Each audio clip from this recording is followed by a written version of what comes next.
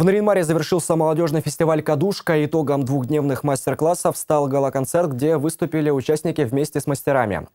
Столичные гости учили ребят снимать фильмы на смартфон, битбоксу, диджей-скренчингу и брейкдансу.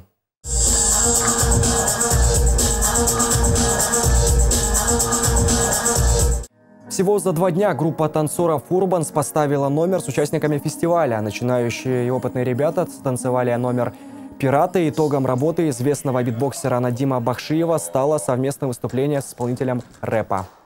Как так можно губами лепить такие звуки? Полет вертолета, пение птиц, взрывы базуки. Вчера я был тут и вдохновился на то, что за пять лет можно немалого добиться.